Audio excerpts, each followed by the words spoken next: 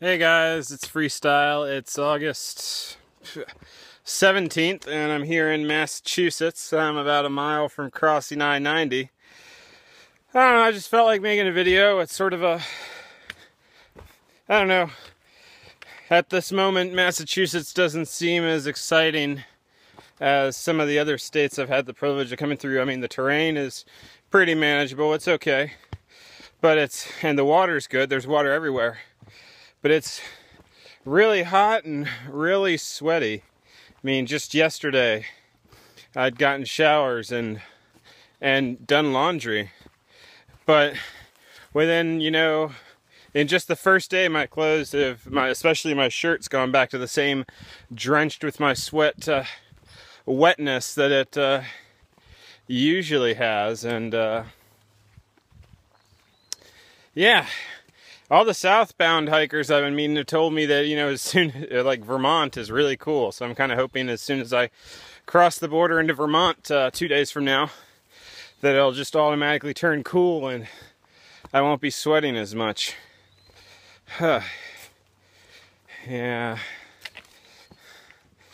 Uh, there's this really nice lake right back down the hill was thinking about there's a cabin there and I was thinking about going to swim and hang out for a bit, but I want to push push on. I'm doing like 21 miles today. A bunch of us already get to some lady's house.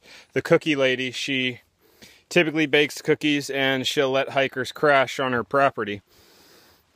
And it's only 100 yards off the trail and I want to get there today so I can push 23 miles tomorrow and then the next day, get to North Adams, Massachusetts, pick up my sleeping bag, which my parents were kind enough to mail there, and uh, keep on going to the Vermont border, which is just above North Adams. It's just, uh, for those of you that may not be aware, I'm going to be taking three days off at Stratton Mountain, Vermont. I used to work at the ski resort there, and many of my friends whom I miss and love very madly will be there and I want to get there sooner rather than later so I can take my days off sooner and then start, you know, trucking to New Hampshire. It's just uh, the things you do for the things you want. It's, uh, you gotta want something badly enough to, you know, go for it unrelentingly. But gosh, is it sweaty.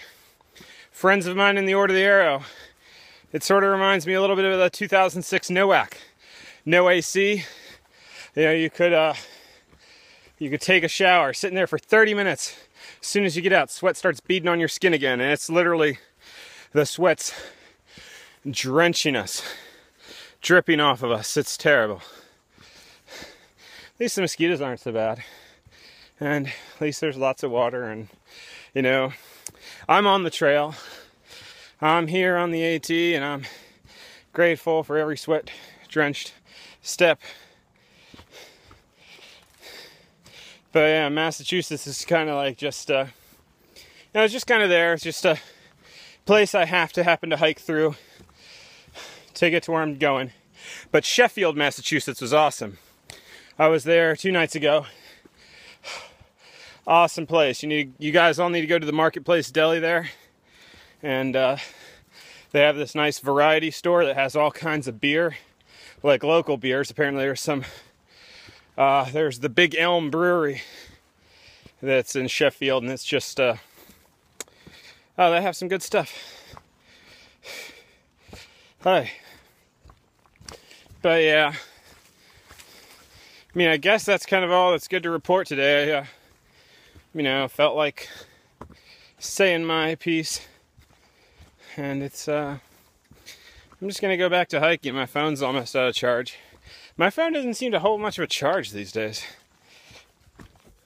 Ah, just a little chipmunk, I think. Yeah, oh look, there's a chipmunk. Woo. Ah, feisty little guy.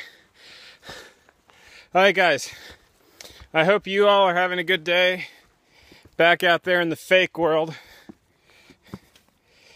And uh, I hope you appreciate that AC that you got. You, uh, you people. Anyway, have a nice day. Bye bye.